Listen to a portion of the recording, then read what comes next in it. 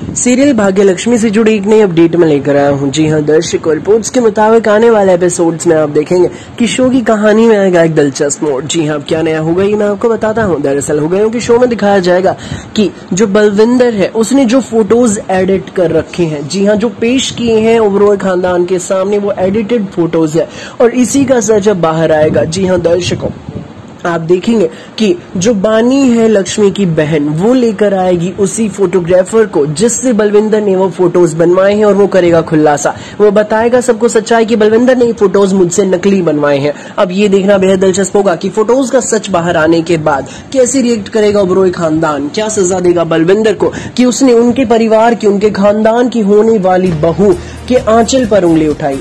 फ़िलहाल के लिए बस इतना ही। For more updates please subscribe and